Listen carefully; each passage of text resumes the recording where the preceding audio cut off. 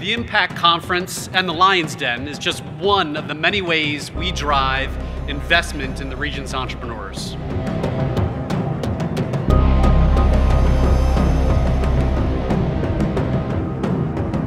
The next 10 years, we're going to see something, I think, dramatic, and I think we have seen it. So we're also going to see disruption in artificial intelligence, healthcare, automobiles, education, 3D printing, and agriculture. But as entrepreneurs, you are the disruptors this year. Obviously, one of the biggest hurdles for entrepreneurs is access to capital, which is why conferences like Impact are so wonderful.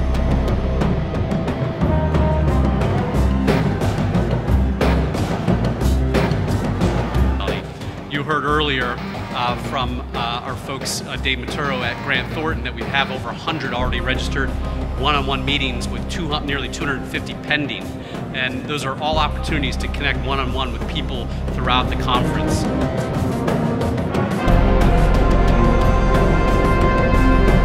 This is one of those fundamental things about disruptive times. How quickly can you move? How agile can you be?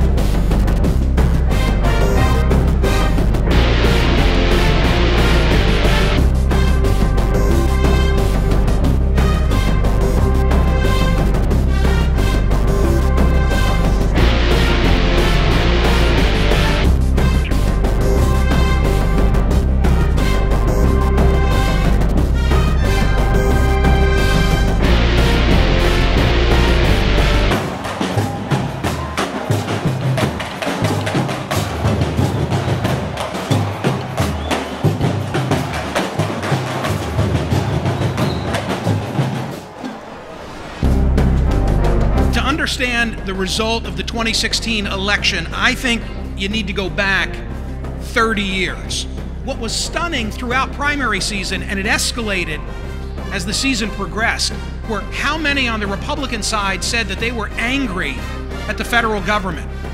And equally interesting was how many of them Donald Trump was winning.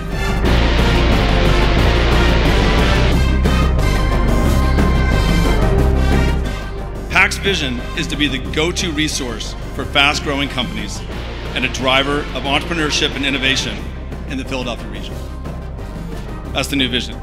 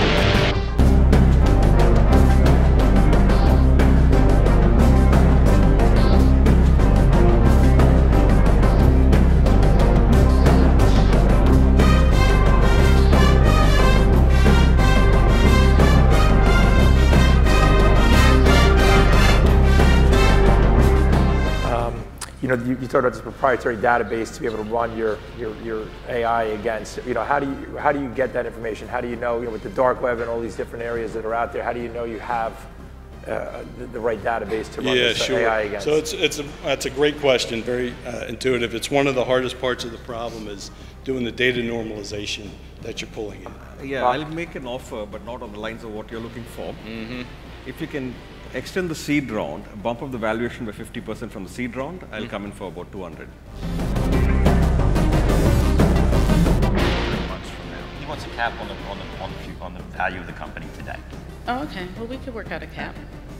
And, and that, and that, I'm just saying, really, I, I, I, I, I I mean, I tell you as an entrepreneur who's talked to a lot of people, and there's different investors have different ways about how they want you to do these early stage, the sort of pre-VC rounds.